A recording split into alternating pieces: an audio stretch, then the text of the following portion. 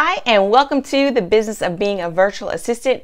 I'm your host, Tiffany Parson, and you're watching and listening to episode number 207. I am getting in the Christmas mood here. As you can see, those of you that are watching on YouTube or Facebook or wherever else the video may be, you see I've got the joy sign on the wall and it's the lights are turned on.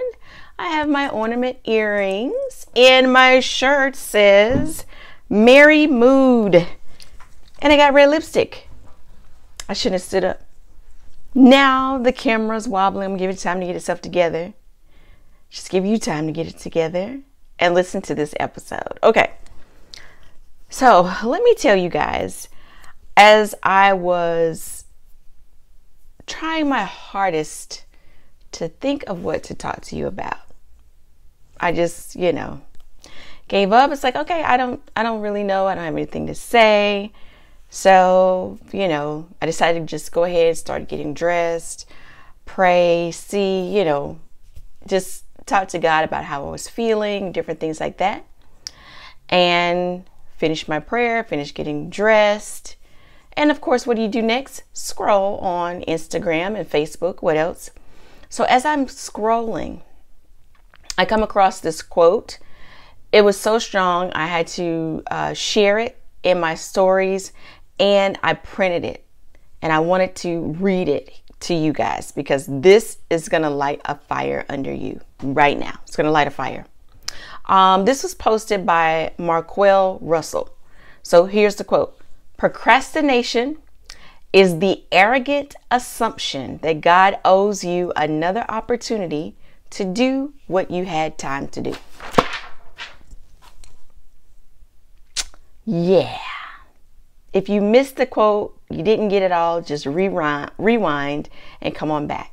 If you want to know what that noise was, I just picked up the paper, threw it back because that's how I felt. Just wanted to do a little shout when I read that because I'm like, oh, uh, I got work to do. I got to get moving. Oh, that was the exact emoji that, that I put with it, that little emoji that has the flat line across the face. Exact one. So, just like that, I know what I'm going to talk to you about. Today's episode is about how not having it all together makes you perfect for the job. How not having it all together makes you perfect for the job.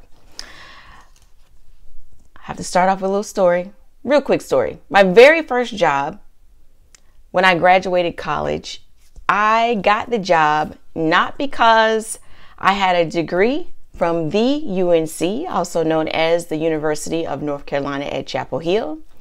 Not because I was a woman or African American. They had plenty of diversity in the building. They didn't need, you know, to check a box or anything like that. Do you know why I got that job? They told me, the, the lady that hired me told me. She told me after on my very first day at work, she told me the reason why she hired me was because I taught cheerleading to kids part time. Had that on my resume because I didn't have a lot of job experience. But that was the experience that stood out. Now, this was at an insurance company. I could have easily left that uh, skill set off because it had, you know, insurance, cheerleading had nothing to do with it, but I needed to fill up my one page resume.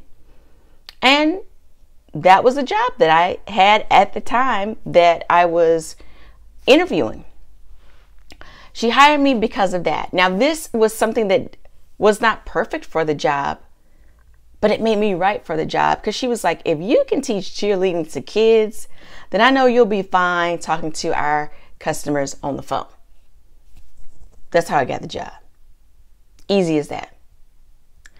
You might be looking at what you want to provide after you've gone through this December series, looking at your numbers, uh, looking at your results, what worked, what didn't work, deciding on where you want to be next year, what you're going to be shooting for, and what you want to add to your service offering. And you might be thinking, I don't have it all together. I want to offer social media, I want to offer graphics. I want to offer bookkeeping, but I, I don't have it. It's not just right. It's it's not perfect. The fact that it's not just right, that it's not perfect, makes you right for the job. And here's why it means you have room for growth because you know you don't have it all together. And when you know you don't have it all together, guess what? You are in a constant state of seeking, learning, finding the answer, testing things out, tweaking it, making it better. If you already felt like you were perfect at this particular skill, then you would not seek out ways to improve. You know, if you are in school currently, or you've ever taken a class, any situation where you're being graded, you'll notice that the instructors rarely are going to give a hundred because they want you to improve. There's always room to make it better. And right now, today, you might be the best at what you're doing. But the coach is going to be hard on you because they don't want you to think you're the best, that you have arrived. And I think I saw that somewhere on probably 30 for 30s.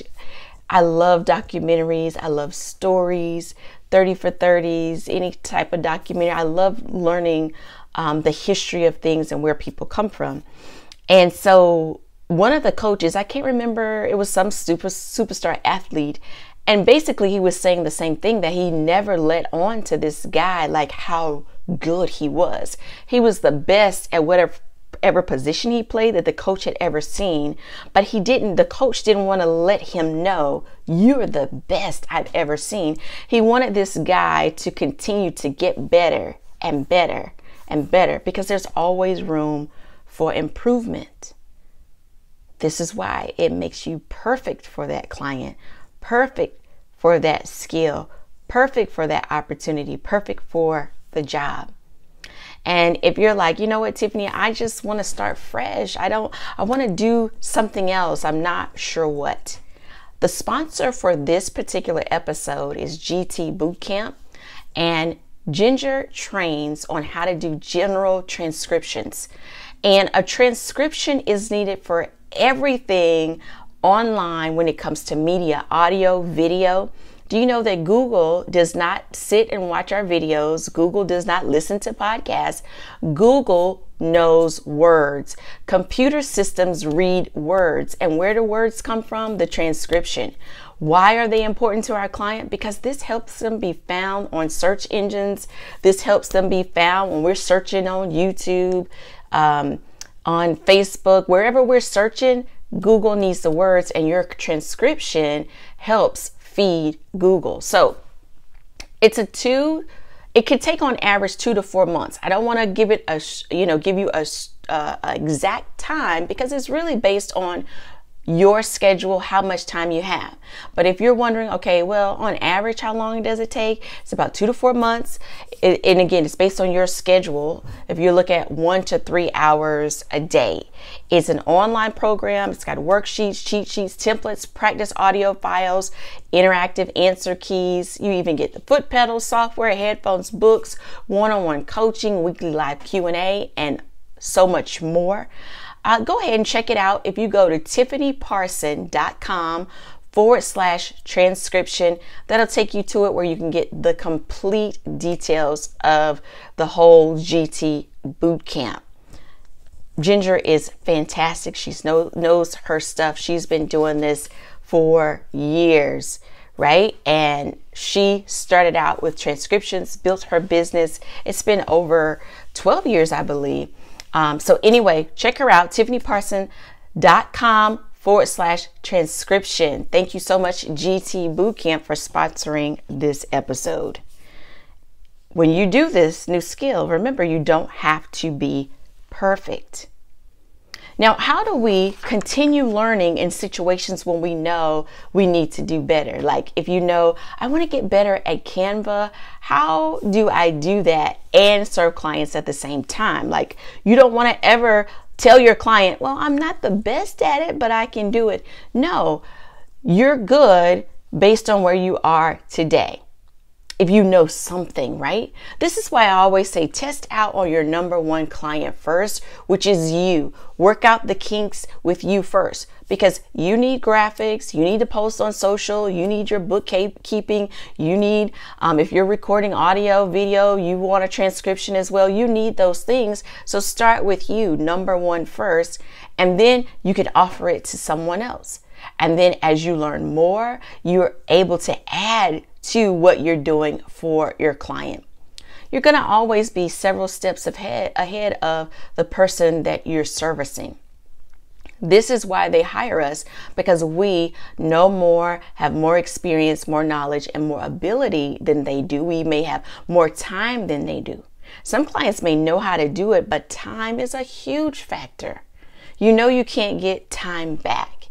And so clients uh, hire us so that they can get that time. My main thing here in this episode, and I think I, I hope I gave the right number 207, is just to let you know you don't have to be perfect. You just have to be ready and not procrastinating. Y'all, that quote, oh, the fact that it says it's arrogance that we even think that, you know, that we didn't, what, what does it say? Well, now I got to find the paper again. Oh my gosh. Arrogant assumption that God owes you another opportunity. We are not owed another opportunity. Just jump out there. I also put in my notes for today that it's good to go ahead and have fun while nobody knows who you are. Have fun on social.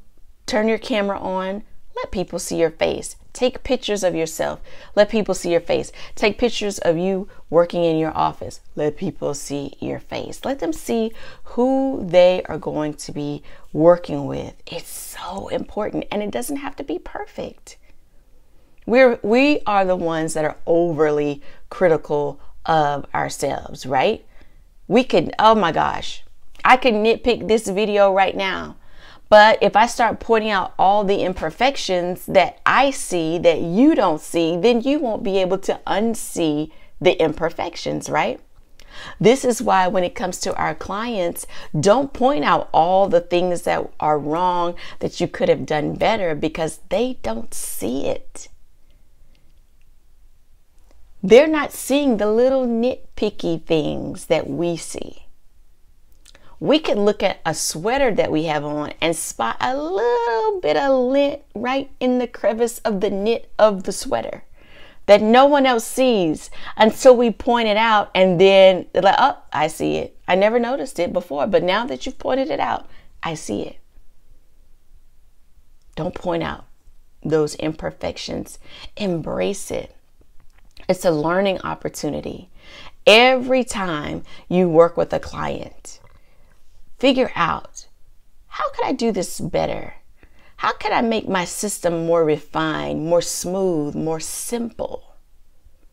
Simplify is my word for myself in 2022 is to simplify things.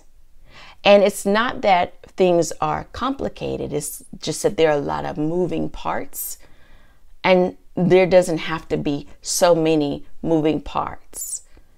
I just know I need to simplify and refine my system.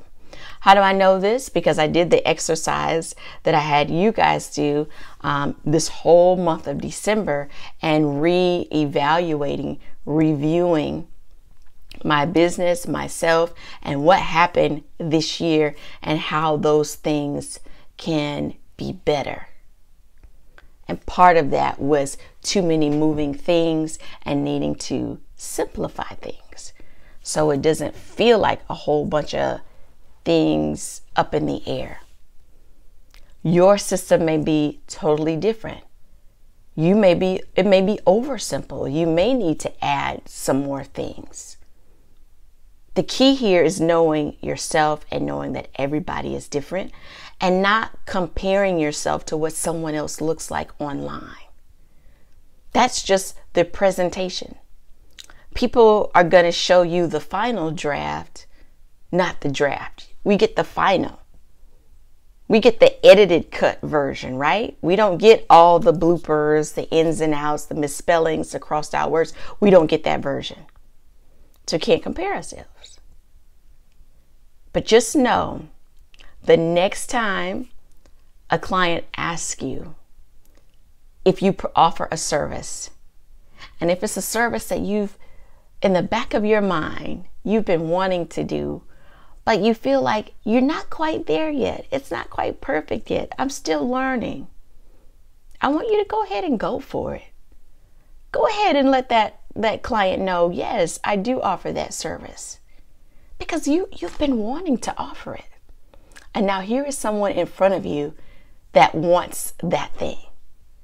Don't allow the fact that you need to learn this one more thing so you can do it to stop you. In most situations, we don't have to know every single feature that's included with the software. It's just like your phone. I don't know how everything works on my phone but I'm learning as I go. As curiosity strikes, I learn something. As a need comes, I learn something. If I hear a tip, I test it out. That is how I learn and how I remember. So, anyway, just know you don't have to have it all together. That doesn't make you perfect for the job. Being ready, being open, being available and jumping on it makes you perfect for the job. You guys, thank you so much for watching and listening. You all have a wonderful and fantastic day.